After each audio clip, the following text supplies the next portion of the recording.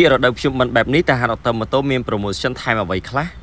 មិនមែនជា promotion ប៉ុន្តែជាអ្វីដែលហាត់អតម៉ូតូតែងតែធ្វើរាល់ការផ្លាស់ប្ដូរប្រេងម៉ាស៊ីននិងប្រេងកាឡេមួយឈុតក្នុងតម្លៃណាមួយក៏ដោយចាប់ពី30000រៀលឡើងទៅយើងនឹងផ្ដល់ជូននៅការឆែកប្រអប់ខ្សែពាននិងសំបុកអែរួមជាមួយការសម្អាតជូនដោយឥតគិតថ្លៃជាស្ដីជាម៉ូតូ Click 160cc មួយគ្រឿងនៃថ្មីដែរក៏ប្រើប្រាស់ជាមួយនឹងផលិតផល Molichan 5W30 ជាមួយប្រេងកាឡេមួយឈុតក៏ទទួលបាននៃការឆែកប្រអប់ខ្សែពាននិងសំបុកអែជូន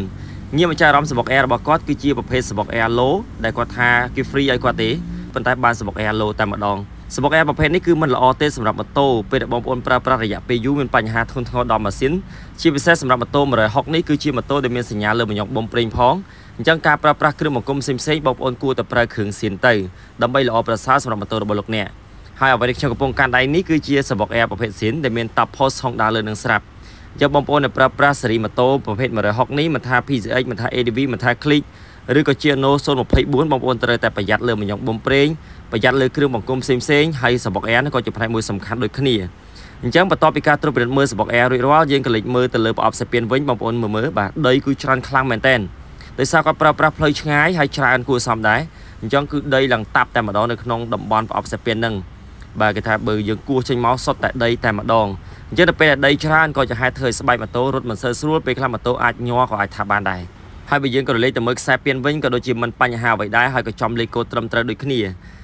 មើលគ្រឿងផ្សេងទៀតនៅក្នុងប្រអប់ខ្សែពានដូចជាក្របរលូយើងនៅអាចប្រើប្រាស់បានអញ្ចឹងអាចប្រើបន្តសិនជាប់ទប់ក៏នៅល្អគួរសមដែរអញ្ចឹងឥឡូវនេះតរដូវកាលកាន់បិណ្ឌចិត្តមកដល់បងប្អូនមុនធ្វើដំណើរផ្លូវឆ្ងាយកុំភ្លេចត្រួតពិនិត្យមើលកន្លែងសំខាន់ជាពិសេសបដូរប្រេងម៉ាស៊ីនប្រេងកាឡេបានត្រឹមត្រូវលោកអ្នកក៏ទទួលបាននៃការឆៃប្រអប់ខ្សែពាននិងសម្អាតជូនឥតគិតថ្លៃនៅហាងដុកទ័រម៉ូតូផ្ទាល់